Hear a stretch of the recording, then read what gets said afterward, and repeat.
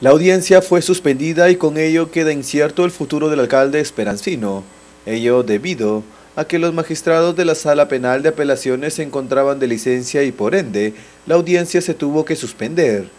¿Cuál esta audiencia?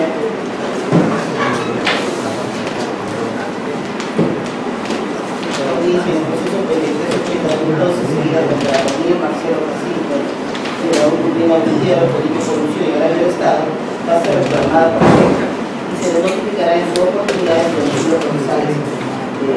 señalado La audiencia ratificaría y revocaría la sentencia de cuatro años de prisión suspendida que tiene el burgomaestre Daniel Marcelo. Cabe indicar que de los magistrados que integraban el colegiado, solo una se encontraba presente. Soy alcalde de La Esperanza. Primero que no conozco a ninguno de los miembros de la sala.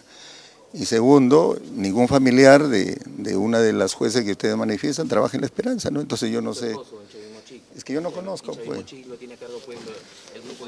¿Y Chavimochica es eh, La Esperanza, la municipalidad? Pero tiene conexión con el partido. Bueno, pues esa es la opinión. Al final quien va a resolver es, quien va a resolver es el Poder Judicial.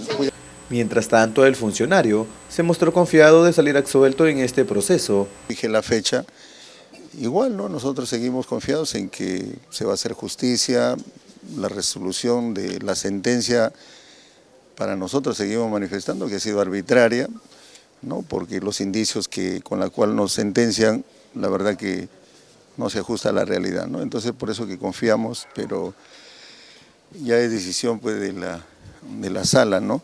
que ha manifestado que se va a reprogramar la audiencia. ¿no? genera incomodidad? Cabe señalar que al burgomaestre se le acusa por haber favorecido al consorcio agroindustrial Don Demetrio en una licitación para el abastecimiento del programa Vaso de Leche en el año 2012.